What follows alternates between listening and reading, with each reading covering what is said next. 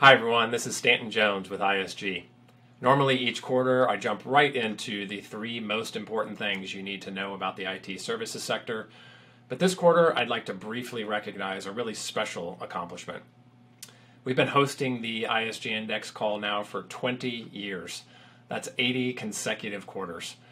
Just to give you a sense of how much this research program has grown over the years, we had 45 attendees on the first index call all the way back in 2002. And this quarter, we'll pass over 30,000 total call attendees over the past two decades. So I'd like to recognize our incredible index team for their tireless work to make this call happen, rain or shine, for 20 years now. So let's go ahead and jump into our big three thoughts from the quarter. Number one, demand remains at all time highs, but headwinds persist.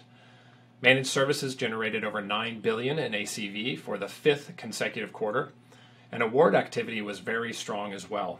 There were over 650 awards, over 5 million in ACV in the third quarter, the second most ever. However, we did see a slight decline in managed services ACV both quarter over quarter and year over year, primarily due to delays in decision making, FX headwinds, and some record high comparisons over the last few quarters. Number two, limited pricing power is pressuring provider margins. Intense competition in the sector, especially for commodity services, means that providers are having difficulty passing wage increases on to enterprises. And when this is coupled with returning expenses around travel, for example, as well as costs to train and retain key talent, it means that providers will likely continue to be under margin pressure. But we believe this pressure will also lead to more innovation in the sector as providers find ways to drive more productivity into their offerings. And number three, macro concerns are delaying enterprise decision making.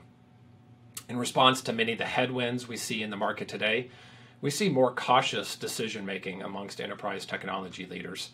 And in some cases, we're seeing some large awards get delayed. However, as I mentioned earlier, demand remains strong even in the face of some of these delays. So, those are the three most important things you need to know about the IT services sector in the third quarter of 2022. And if you're interested in staying up to date on the sector each week, I encourage you to sign up for the weekly Index Insider newsletter using the link below in the comments. Thanks, and we'll see you on the fourth quarter index call on January 12th.